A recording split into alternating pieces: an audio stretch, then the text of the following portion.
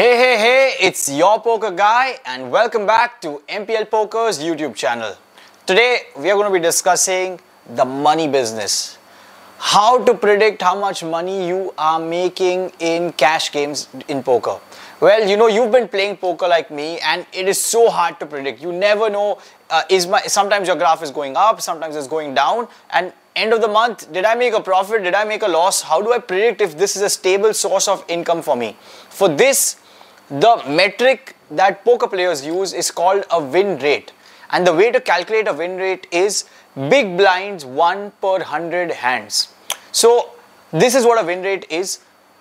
Any win rate above 0 is a good thing because that means you're a winning player which itself is a rarity in poker. A win rate of 4 out of 5 that is 4 blinds or 5 blinds out of every 100 hands played is actually very good. And in the Indian field, you can probably be touching 10, 11 as well. So well, this is how you need to calculate your winning rate. Now, how to calculate this winning rate? You need something called a HUD, which is a heads-up display to actually track and measure your win rate. A HUD actually looks into the various variables that are used in calculating what your win rate is. Let's look into that. Say suppose you are someone who plays 10, 25 cash games and this month you've played 10,000 hands and won 20,000 rupees. So your winning here suppose is 20,000 rupees at 1025 cash games. So that is about 800 blinds that you have won out of your 10,000 hands. Now you know that your win rate is blinds per 100 hands. So when you divide this 800 big blinds divided by 10,000 hands, you will get your win rate of 8 blinds per 100 hands. So now guess what? Your win rate is 8 BB per 100 hands. Now what do you do with this information?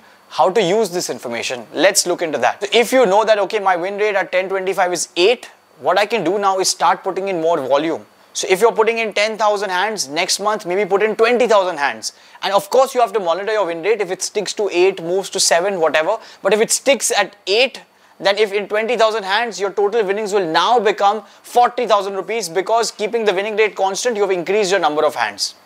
The second thing that you can do is you can probably plan to increase your stakes.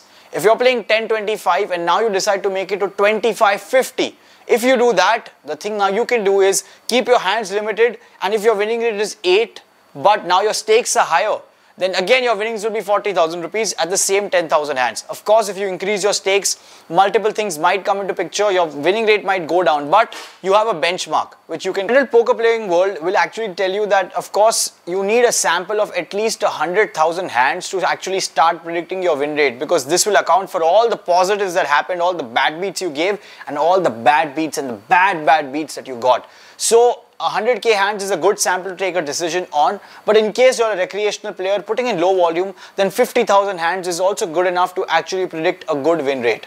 So well this is your video on win rate. I hope you also can start calculating your win rate. Please comment below that what is your win rate and thank you so much for liking, sharing and loving all our videos and please continue to do the same. Thank you so much for watching the video.